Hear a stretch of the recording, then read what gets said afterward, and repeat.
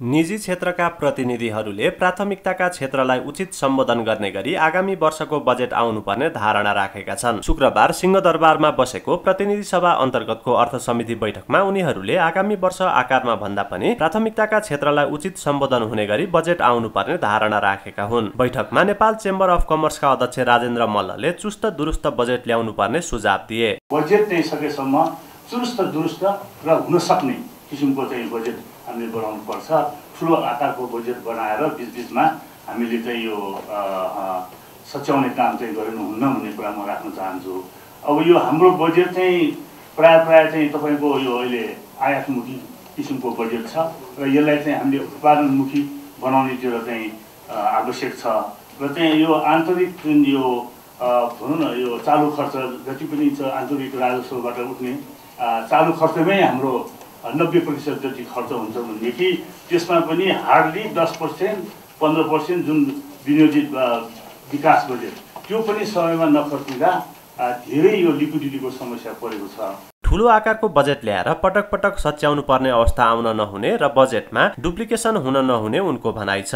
त्यस्तै उनले विकास खर्च समयमा नसकिँदा समस्या देखिने गरेको भन्दै वर्तमान सरकारले यसअघिको कमी कमजोरीलाई सच्याउँदै बजेट ल्याउनु पर्ने बताए। उनले भारतीय पर्यटकलाई मध्यनजर गर्दै भारु पाँच सय र दुई हजारका नोट नेपालमा चल्ने व्यवस्था गर्न सुझाव दिए। यो अहिले चाहिँ बजेटबाट विभिन्न हाम्रो चाहिँ यो भट्टाहरू सामाजिक भट्टाहरू दिने गरेको छ होइन? वृद्ध भट्टा अथवा असहाय महिला भत्ता विभिन्न किसिमको भत्ताहरू छ एकल महिला भनेर। त्यो चाहिँ कमसेकम डबल नहोस्।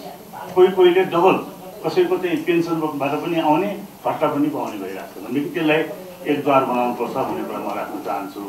र चाहिँ अहिले भनौँ न यो नेपालमा मोटामोटी अहिले हाम्रो झन्डै एक लाख पैँतिस हजार जति करदाताहरू छन् होइन?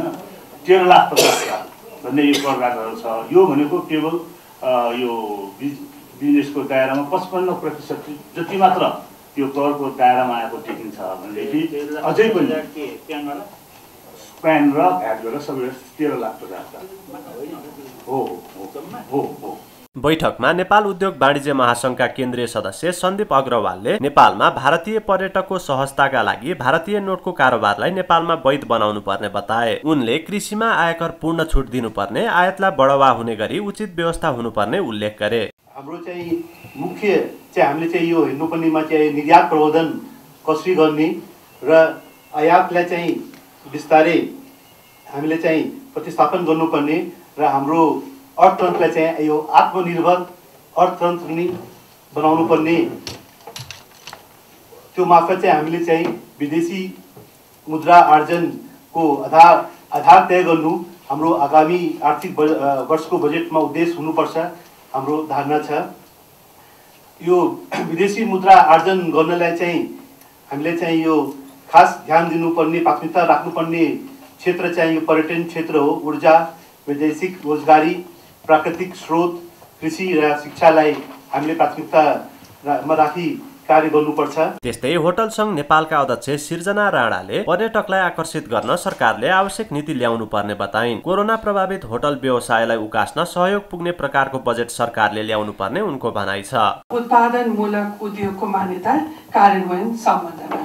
आर्थिक बजेट दुई हजार अठहत्तर उना उनासीको बजेटले होटेललाई उत्पादनमूलक उद्योग सरहको सुविधाहरू प्रदान गर्ने व्यवस्था भएकोमा हालसम्मको कार्यान्वयन हुन नसकेको आयकर ऐन दुई हजार अन्ठाउन्न बमोजिम उत्पादनमूलक उद्योगलाई प्रदान गरिएको सम्पूर्ण सुविधा होटेल उद्योगलाई उपलब्ध गराउने गरी दुई हजार उना उनासी असीको बजेटमा समावेश गरी कोभिडबाट छत विछत भएको पर्यटन उद्योगलाई पुनस्थापना सहयोग हुनुपर्ने यो यो हाम्रो उद्योग यो पर्यटनलाई चाहिँ नि प्राथमिकता उद्योग दिन एकदम जरुरी छ। त्यस्तै नेपाल चेम्बर अफ कमर्सका वरिष्ठ उपाध्यक्ष कमलेश कुमार अग्रवालले विदेशी मुद्राको सञ्चिति हेर्दा आर्थिक गतिविधि गर्न समस्या भएको भन्दै यसमा विशेष ध्यान दिनुपर्ने बताए। अहिले हाम्रो देशको मुख्य समस्या भनेको दुईटा छ।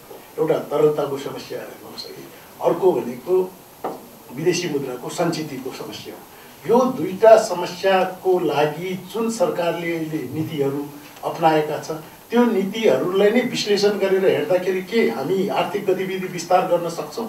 जस्तो राष्ट्र ब्याङ्कका पछिल्ला नीतिहरूले आर्थिक आयातमुखी अर्थतन्त्र हाम्रो देशमा आज एकैचोटि हामी आयातलाई बन्द गरेर तपाईँको आयात प्रतिस्थापन गर्न सक्दैनौँ। यसको लागि त लङ टर्म पोलिसी चाहियो। यसलाई प्रतिस्पर्धी कसरी बनाउने त्यता सोच्नु पऱ्यो एक्कासी हामी आयातमुखी अर्थतन्त्रलाई नियन्त्रण गर्न राष्ट्र ब्याङ्कले छलफलै नगरिकन एक्कासी नियमहरू निकाल। यस्तो अवस्थामा अन्य विकल्पहरू हुँदाहुँदै किन हामी यतातिर गयौँ? समितिले आगामी आर्थिक वर्ष दुई हजार उनासी अस्सीको बजेटका लागि निजी क्षेत्रबाट सुझाव लिएको हो।